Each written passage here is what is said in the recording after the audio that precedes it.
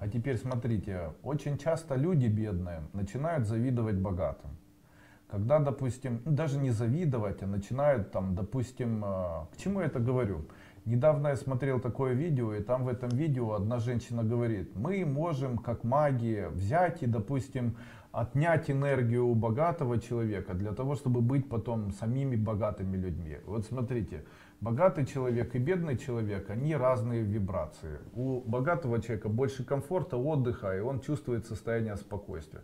У бедного человека больше агрессии, больше элементов выживания, он чувствует бесконечную опасность, ему необходимо выживать. Когда человек с низкими вибрациями начинает завидовать человеку очень богатому, то он делает для него большую помощь. Какую? Он забирает у него вот эти панические атаки, которые возникают у человека из-за того, что он у кого-то что-то своровал. Именно поэтому нельзя завидовать богатым, потому что после этого начинаются панические атаки. Кстати, так не по теме, а чуть-чуть по здоровью. Обратилась ко мне женщина. Я ни для кого не секрет, очень много лет занимался тем, что принимал людей. На протяжении более чем 12 лет я в своем офисе на Шитару Ставеле. А, сначала это было в городе Виннице, потом я ездил в город Харьков, потом еще в разных городах, даже в России, в Тюмени, в Владивостоке и там еще где-то, в Москве, Новороссийске, там, в Екатеринбурге, где только не находился. И принимал людей, проводил маленькие встречи такие, принимал после этого людей, делал это совершенно бесплатно.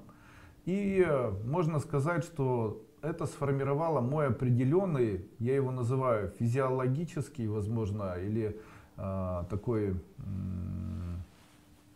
э, физи, физиологический, э, патологоанатомический опыт. Вот которые позволяют мне делать выводы. Я могу сказать, вот и у меня есть вот такой вывод. Смотрите, если в женщине, допустим, 75 килограмм, вернее, если в женщине рост метр семьдесят, и а, убрать, допустим, метр и оставить 70 килограмм, то в случае, если женщина худеет и становится худее, чем 15 килограмм от данного веса, то у нее начинаются панические атаки.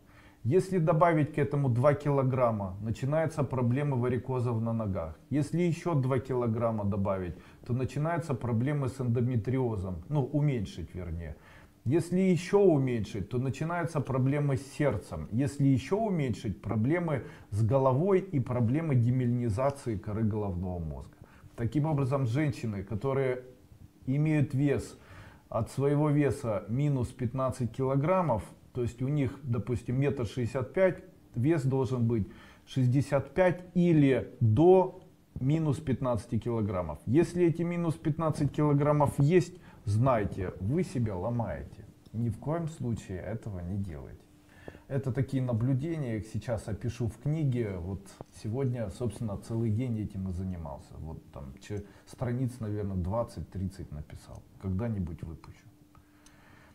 Естественно, не завидуйте богатым, потому что человек, который бедный, забирает у богатого вибрации страдания, которых у него немного. А это страдания, потому что он украл. Тем самым человек может стянуть ну, панические атаки. И после этого человек живет, после этого посмотрел на богатого человека, там, ой, так рассчитался, подлюка, что это такое, там, и так далее. А у человека потом выходит такая женщина, живет, и у нее начинаются панические атаки, депрессивные эпизоды и так далее.